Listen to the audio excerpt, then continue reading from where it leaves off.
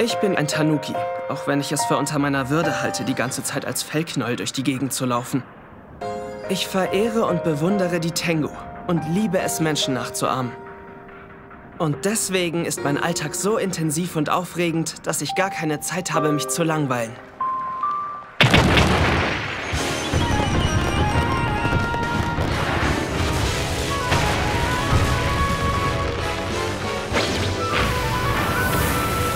Ich bin so froh, euch zu haben, auch wenn euer Vater uns verlassen hat.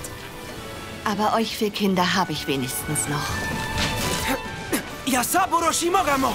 Sehr angenehm. Unser Bruder Yajiro wohnt in einem Brunnen. Ah, wie kann ein Tanuki nur so nutzlos sein Leben vergeuden? Seine Brüder sind ein Frosch, ein Vollidiot und ein kleiner Junge. So hat er keine Chance.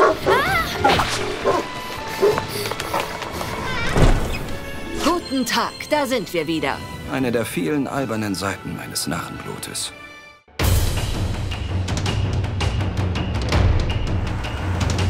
Wow, du hast es ihm gezeigt. Applaus für dich, Bruder. Nerv nicht. Lass mich in Ruhe.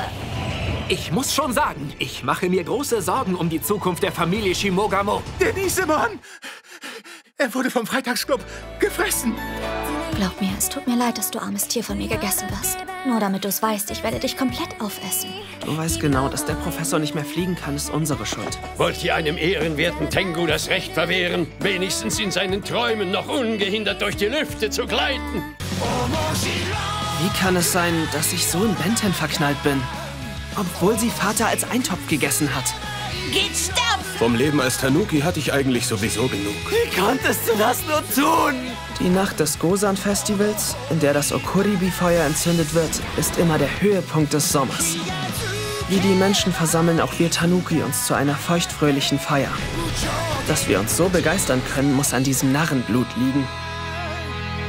The Eccentric Family. Demnächst auf DVD und Blu-ray.